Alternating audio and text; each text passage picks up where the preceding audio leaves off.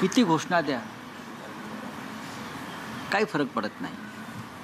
आम्ही निर्भय आणि बेणार आहोत.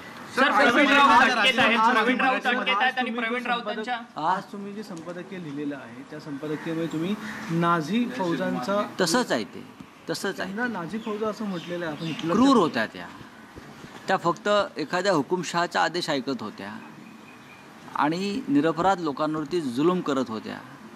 त्यांची सत् त्यांच्या मालकांची सत्ता टिकवण्यासाठी. मला वाटतं देशामध्ये साधारण यापेक्षा वेगळं वातावरण आज दिसत नाही. सर चल. प्रवीण? तर केंद्रीय यंत्रणांकडून सध्या जे छापे टाकण्याचं सत्र सुरू आहे नवाब मलिक यांना ईडीकडून जी अटक केली गेली आहे या सगळ्या संदर्भात संजय राऊत यांनी प्रतिक्रिया दिलेली आहे. तपास यंत्रणांनी गळचेपी केली तरी सुद्धा आम्ही सत्यच बोलू असं संजय राऊत म्हणालेलं आहे बातमीसह बुलेटिनमध्ये पुन्हा एक छोटासा